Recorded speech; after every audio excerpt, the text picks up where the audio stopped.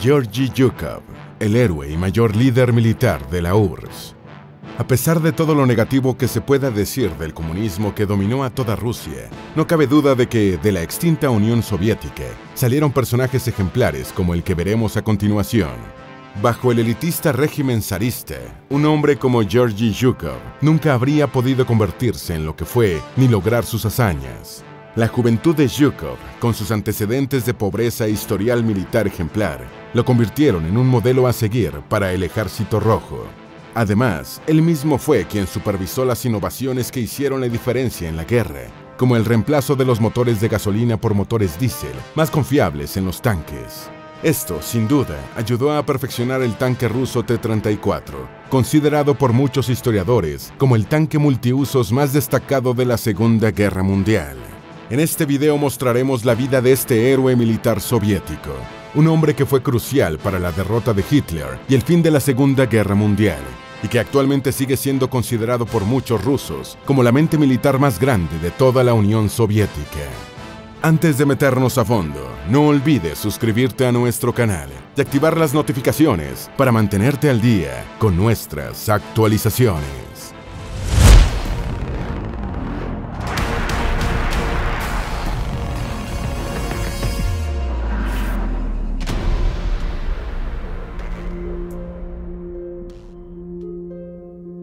Sus orígenes. Georgy Konstantinovich Yukov nació el 1 de diciembre de 1896 en el poblado de Strelkovka, provincia de Kaluga, en el extinto Imperio Ruso.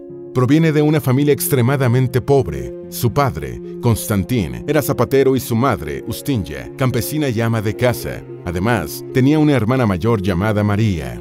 Los azotes fueron para él algo muy común, porque su padre era extremadamente duro en cuanto a disciplina. A pesar de las duras condiciones de vida, Georgie logró completar el curso de educación primaria de tres años en la escuela de su ciudad natal y luego, a los nueve años, fue empleado como aprendiz de peletero en Moscú por el hermano de su madre. Mientras trabajaba para su tío, el joven Shukov completó su educación y con ello mejoró notablemente su ruso y alemán. Aprendió por sí mismo sobre ciencia, geografía y matemáticas. Además, se sabe que se matriculó en una escuela nocturna. Allí completó cursos, según se lo permitía su trabajo. En el año 1914 completó su aprendizaje y estableció su propio negocio. Sin embargo, esto no duraría mucho, ya que el estallido de la Primera Guerra Mundial en 1915 hizo que fuese reclutado en un regimiento de caballería del ejército imperial. La Gran Guerra cuando Yukov fue reclutado por el ejército imperial ruso, sirvió en el décimo regimiento Dragón Novgorod. Pero su paso por la Gran Guerra fue corto, ya que resultó herido en acción durante una batalla contra los alemanes en Kharkiv. Sin embargo, gracias a sus méritos en batalla recibió la Cruz de San Jorge dos veces, un honor otorgado a la valentía. Además, fue ascendido al rango de suboficial debido al liderazgo que mostró en acción. No pasó mucho tiempo para que Yukov se uniese al partido bolchevique después de la Revolución de Octubre de 1917. Y durante la guerra civil que le siguió, sirvió en la Segunda Brigada de Caballería, comandada por Timoshenko, absorbida luego por el primer ejército de caballería, liderado por Semyon Budioni. En el año 1920, Shukov completó un curso de formación de caballería para oficiales y empezó a recibir comisiones como oficial. Entretanto, se casó por primera vez con Alexandra Dievna Suikova y con ella tuvo dos hijas, Era y ella.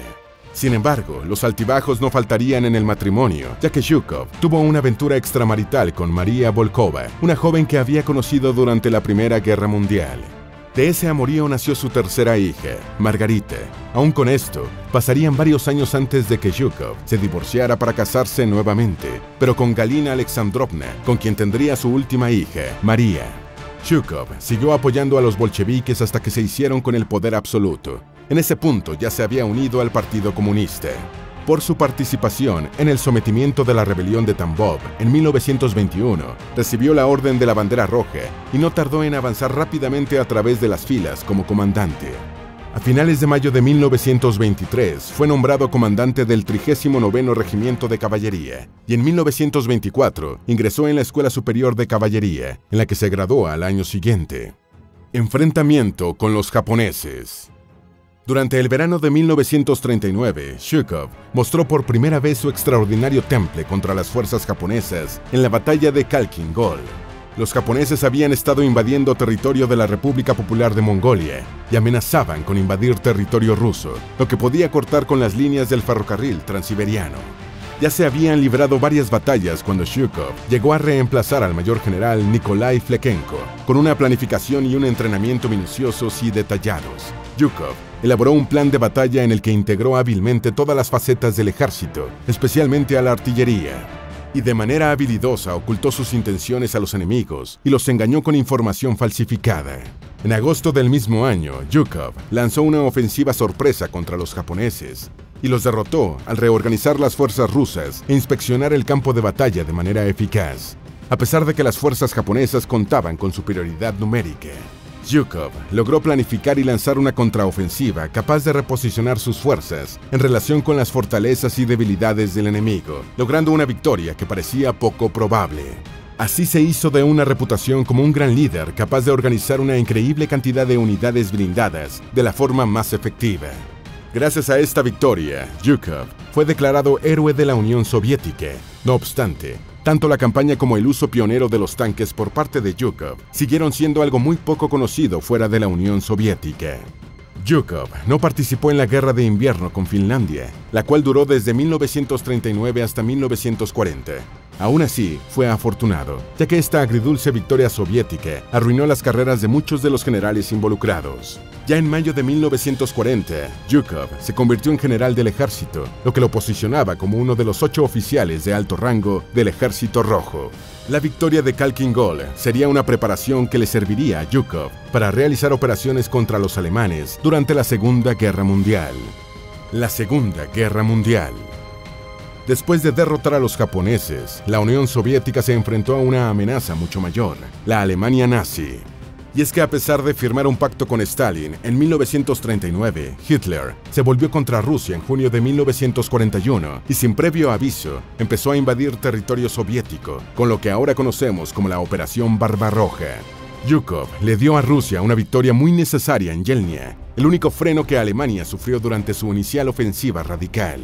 También fue Yukov quien supervisó la defensa de la ciudad de Leningrado en 1941 y planeó la contraofensiva de Stalingrado. Junto con Alexander Vasilevsky, supervisó el cerco y la rendición del sexto ejército alemán. Este militar soviético fue quien comandó las fuerzas rusas en la decisiva batalla de Kursk en julio de 1943, la que sería la batalla de tanques más grande de la historia, donde se involucraron al menos 8.000 tanques combinados. La derrota de los alemanes en Kursk marcó el punto de inflexión de la guerra, dando la victoria a los soviéticos. La destrucción del sexto ejército alemán y el subsiguiente avance soviético hacia el oeste obligaron a los alemanes a evacuar al Cáucaso. Esto no hizo más que reforzar la moral soviética y cimentar la fe que Stalin tenía en Yukov. La grandeza de Yukov se basó en su manera de conducir las batallas, en particular a su excelente capacidad para ver el campo de batalla. Yukov asimilaba de manera impresionante la información que tenía a la mano y después de un estudio cuidadoso del terreno a través del análisis de mapas, fotografías aéreas y visitas in situ, usaba la inteligencia y la información sobre la acción del enemigo para averiguar dónde colocar mejor a sus hombres con tal de detener un avance, contraatacar o abrirse paso en una ofensiva. Otros generales solo se enfocaban en usar a la infantería y a los tanques por separado, a menudo sin buscar coordinarlos con el resto de la artillería, raras veces recurriendo al poder aéreo táctico. Shukov, en cambio, buscaba combinar cuidadosamente todas estas armas para que se complementaran y apoyaran entre sí con el propósito de abrumar las defensas del enemigo. Yukov era muy perfeccionista en todo lo que hacía y esperaba lo mismo de los demás. Esto creó una inclinación a ser desdeñoso e intolerante con la incompetencia, no solo de sus subordinados, sino también de sus compañeros de alto rango. Él castigaba el fracaso sin dudarlo, relevando, degradando, reasignando e incluso arrestando sin piedad a cualquiera que mostrara incompetencia y estuviese bajo su mando. La verdad es que muy raras veces daba segundas oportunidades. En la batalla de Berlín, Zhukov estuvo a cargo del primer frente bielorruso e instó a sus hombres a vengarse sin piedad de los alemanes, ya que más de 20 millones de soldados y civiles soviéticos habían muerto como resultado de la guerra que empezó el país germánico. En una cruel repetición de las atrocidades cometidas por los soldados alemanes en contra de civiles soviéticos, la marcha hacia el oeste de las fuerzas soviéticas estuvo marcada por la despiadada brutalidad por parte de los soldados soviéticos hacia los civiles alemanes, incluyendo saqueos, incendios y violaciones sistemáticas. Después de la capitulación alemana, Zhukov se convirtió en el primer comandante de la zona de ocupación soviética. El 10 de junio de 1945 regresó a Moscú con la intención de prepararse para el desfile de la victoria y el 24 de junio Stalin le otorgó el honor de ser comandante en jefe del desfile. Después de la ceremonia regresó a Berlín para retomar el mando de gobernador militar. Zhukov se convirtió en una figura de renombre nacional. Su reputación entre civiles y soldados era tal que la frase «Donde está Zhukov, hay victoria» se convirtió en un eslogan común desde 1943. Por lo tanto, fue realmente su éxito más que su personalidad lo que inspiró a las tropas. Tener su nombre asociado a la victoria dio a los soldados bajo su mando una mayor confianza, lo que pudo haber contribuido aún más a su éxito. Ciertamente, Yukov no fue infalible, pero logró suprimir la publicidad asociada con sus fracasos. En Berlín, Yukov empezó a usar su puesto para hacerse con aliados importantes de la esfera mundial, como el presidente estadounidense Eisenhower, ya que quería aumentar su influencia en el extranjero. A pesar de la cruel venganza que los soviéticos impartieron en la batalla de Berlín, Zhukov no descuidó a los civiles alemanes bajo su mando. Siempre les decía a sus soldados que odiaran al nazismo, pero no a los alemanes. Stalin, sin embargo, pronto empezó a creer que Zhukov podría convertirse en una amenaza política para él, por lo que lo destituyó del puesto y lo hizo regresar a Rusia para enfrentar cargos de deslealtad. La carrera de Zhukov después de la guerra. Con la subida de popularidad que Yukov había estado logrando, Stalin quiso deshacerse de él. No obstante, no consideró prudente matarlo o arrestarlo. Al final, Stalin optó por hacer que enfrentara en privado cargos de deslealtad al partido. De esta manera, pudo enviarlo a un puesto alejado de Moscú, en el distrito militar de Odessa. Estando allí, Zhukov sufriría su primer infarto al miocardio. De regreso en Moscú, el jefe de seguridad de Stalin, Lavrenti Beria, buscó cómo destruirlo, puesto que lo veía como una amenaza para Stalin. En 1948, Beria hizo que el apartamento de Yukov fuese registrado minuciosamente para encontrar cualquier rastro incriminatorio.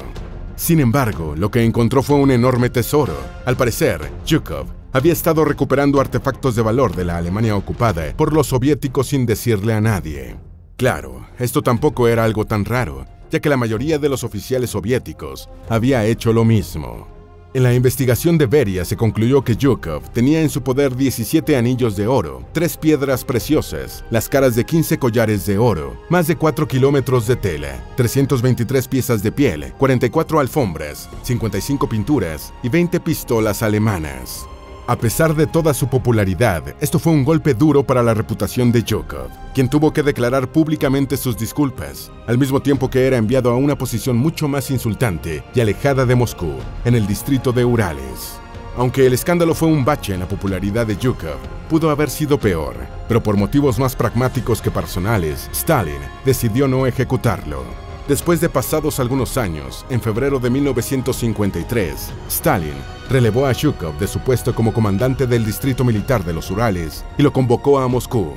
Muchos pensaron que lo había hecho porque la experiencia de Zhukov era necesaria en la guerra de Corea, pero en todo el tiempo que Zhukov estuvo en Moscú, el líder soviético no le dio ninguna orden importante relacionada con esta guerra. Stalin moriría en marzo y las cosas cambiarían para toda la Unión Soviética.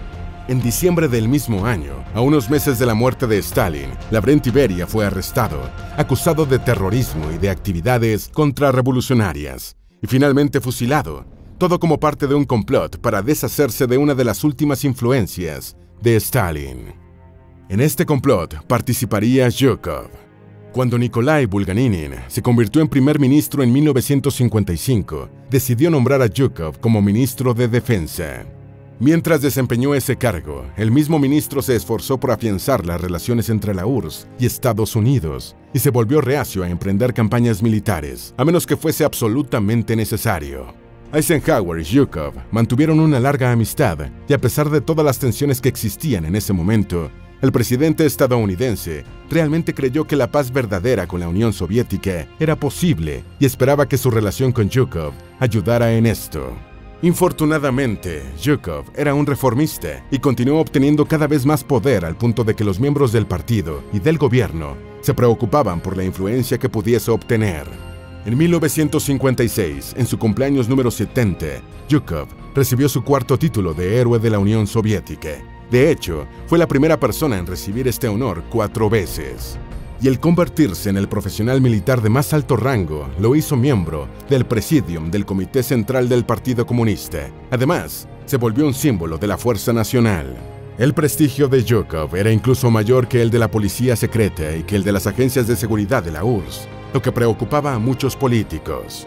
En octubre de 1958 fue enviado a una gira por los Balcanes, al mismo tiempo que se arregló un encuentro del Presidium para destituirlo. Zhukov se enteró de todo lo que estaba sucediendo y cuando regresó a Moscú fue notificado formalmente de su despido. Después de ser expulsado del gobierno, se mantuvo el resto de sus años alejado de la política. Sus últimos años. Jubilado y alejado de la política, Zhukov se interesó en escribir sobre sus memorias, mientras se relajaba cazando y entablando conversaciones con viejas amistades. En 1967 sobrevivió a un ataque cardíaco tan fuerte que le quitó la movilidad del lado izquierdo de su cuerpo. A pesar de sus problemas de salud, en 1969 publicó sus memorias y se convirtió de facto en relato popular de la guerra desde la perspectiva soviética. El material vendió millones de copias alrededor del mundo. El 18 de junio de 1974, Chukov murió tras sufrir un derrame cerebral. Su última voluntad fue un entierro cristiano ortodoxo, pero a pesar de las solicitudes de la familia a los principales líderes del país, su cuerpo terminó siendo incinerado para que sus cenizas fueran enterradas en la necrópolis de la muralla del Kremlin, junto a otros generales y mariscales relevantes de la Unión Soviética. La figura de Yukov, a pesar de que puede generar cierta controversia, no deja de ser impresionante. Con su ingenio y habilidades para la guerra, logró convertirse en un héroe para su pueblo Incluso mantuvo una larga amistad con el presidente de la nación rival, más poderosa del mundo. A pesar de que sus opositores temían que pudiese hacerse con el poder absoluto, es posible que esto nunca hubiese sido un plan de Yokov. Él era un militar destacado y lo más probable es que solo quisiese lo mejor para su nación. Esperamos que este video te haya sido útil. Si tienes algo que agregar, por favor, compártelo con nosotros en la sección de comentarios. Dale me gusta a este video y envíale el enlace a tus familiares y a tus mejores amigos para que también sepan más de Georgy Yukov, el héroe y mayor líder militar de la URSS. Si eres nuevo en nuestro canal, no olvides suscribirte. No se te olvide seguirnos en todas nuestras redes sociales que van a estar aquí abajo en la descripción. Recuerda, un pueblo que no conoce su historia está condenado a repetirla.